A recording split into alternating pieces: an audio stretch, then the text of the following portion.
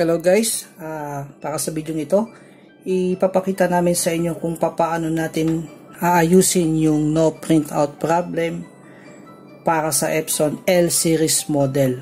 Okay, so applicable po itong tutorial na ito para sa lahat ng L series model ano, yung uh, kadalasan diyan yung A1 size. Okay. So itatry natin ngayon mag-print uh, gamit natin ngayon Epson L360. Itatry natin ngayon mag-print para makita nyo kung ano yung ibig naming sabihin. Okay? So, mag-print tayo.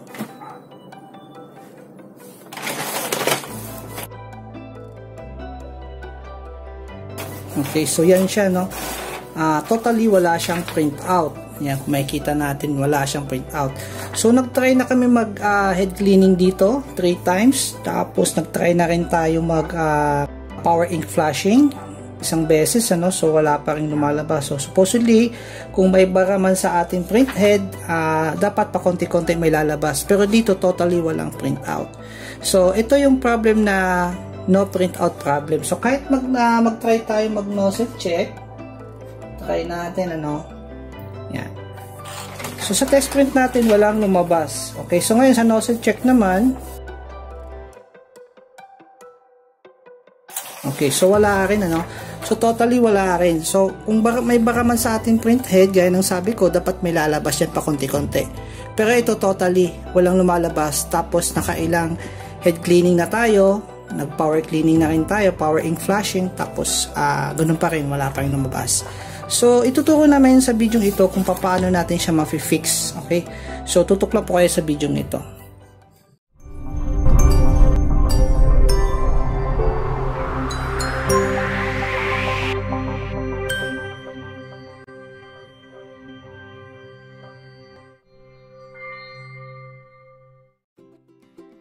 So ngayon, gagawin natin guys, uh, if fix natin siya, itatry natin i ayusin yung kanyang fuse, okay?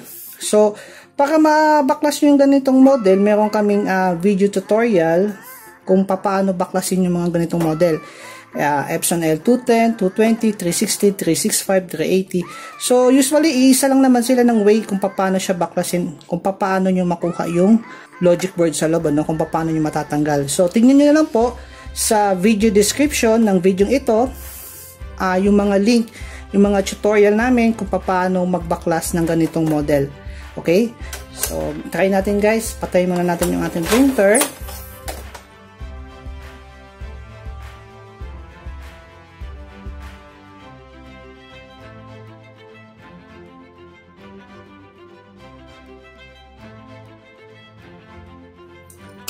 Okay, so ito na yung ating uh, logic board. Ano? Yan.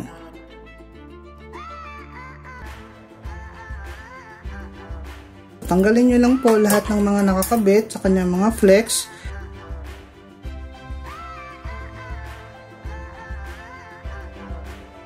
So, ngayon, ito na yung ating logic board, ang printer, ano?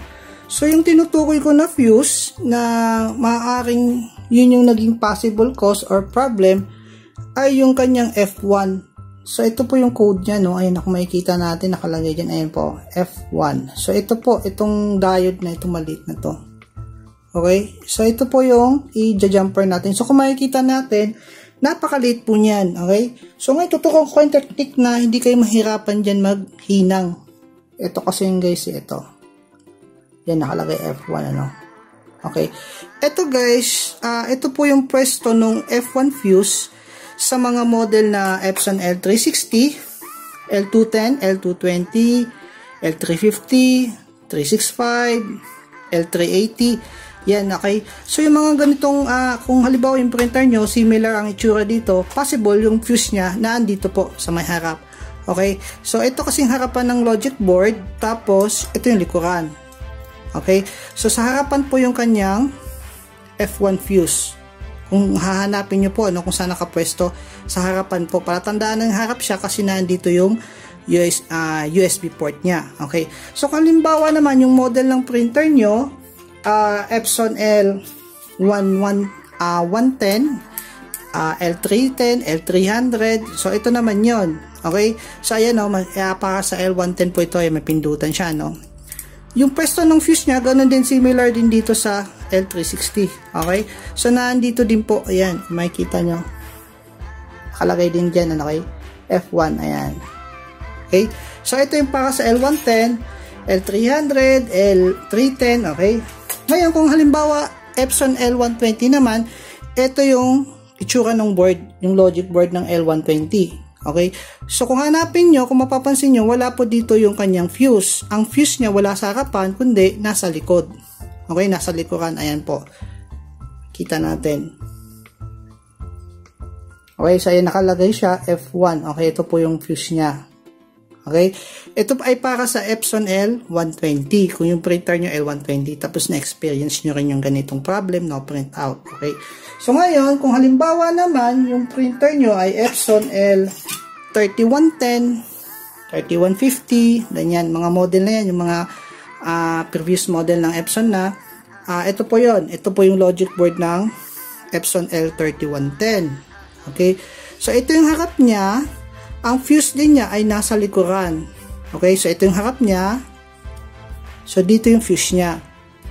Yung fuse niya nasa likuran, nasa ibabaw ng dalawang transistor. Okay, so ayan siya. Kita natin, no? Kita ba? Ayan po. Nakalagay F1. Ayan, fuse. Ito, ito mismong diode na to. Okay? So, nakalagay dyan, F1. Okay? So, ito ay para sa Epson L3110 na model. Kung yun yung model ng printer nyo. Okay? So, ngayon, itatry na natin na ayusin, i-fix yung kanyang fuse.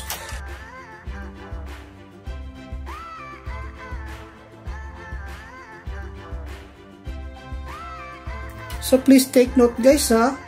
Uh, wala pong pananagutan ng infinite kung ano man po ang mangyari sa inyong printer. Okay? So, ito po ay uh, sinishare namin sa inyo for educational purpose lang po, no? For educational purposes po na magkakaroon kayo ng idea kung nasaan yung problem.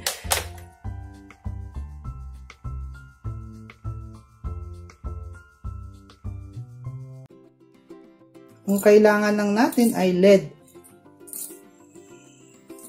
So, kahit hindi ka na maghanap ng manipis na wire, para lang uh, ma-jumper tong itong F1 niya kasi sobrang nipis, sobrang liit po niya, ano?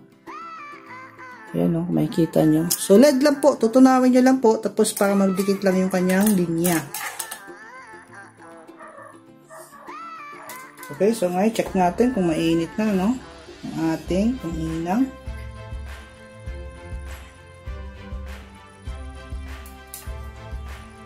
So, ingat lang guys uh, sa panghinang.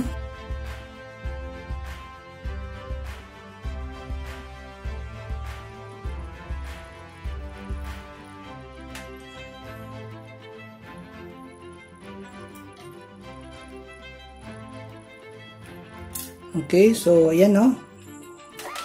Kita lang natin sa inyo kung ano tsura niya. Okay. So, ganyan siya guys. Dapat ano, makikita nyo yung F1 niya uh, pinagdugtong natin ginamper natin siya. Okay? So kahit LED na lang kagaya niyan LED na lang yung ginamit namin na pangdugtong pwede yan gagana yan okay? Basta maayos lang na pagkaka-jumper ano? Huwag nyo nang masyadong kapalan kasi baka mamaya uh, hindi gumana rin. Baka mag no power okay? So, delikado po ito guys kasi pag nagkamali po tayo ng uh, paghinang, pag-jumper sa ating fuse, uh, malaki po yung chance na mag-no power din yung ating printer. Okay. So ngayon, uh, tapos na natin siya mahinang. Balik na natin siya sa ating printer.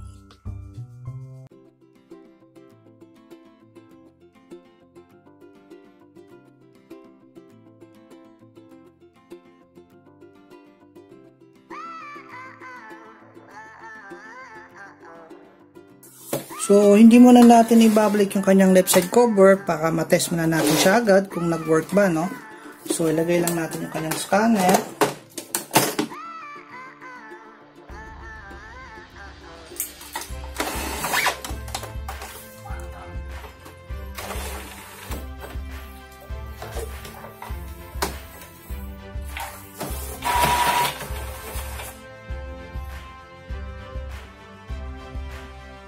So ngayon, magta-try tayo ulit mag uh, test print ano.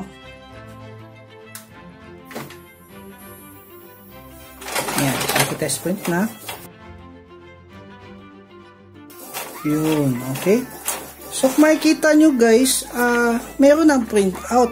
Okay, so, kagaya kanina, talagang wala ano, as is, wala, uh, as in, wala siyang lumabas na kahit anong color. Okay, so ngayon, kung makikita nyo po, lumabas na. Nagkaroon na siya ng print out. Okay, so, yun po yung dahilan kung bakit uh, yung ating printer walang printout yung kanyang fuse. So, yun lang po yung gagawin nyo para ma-fix nyo yung no printout problem. Kung paano natin siya ma-fix. Uh, i-jumper nyo lang po yung F1 fuse. Okay? So, ayan guys. Okay na. Na-fix na natin yung ating printer. Okay? So, sana po uh, itong video na ito makatulong po sa inyo. Magbigyan kayo ng idea kung paano natin maayos yung no printout problem para sa Epson L series model. Okay? So please subscribe po sa aming YouTube channel para sa mas marami pa pong video tutorials. Maraming salamat po sa panonood.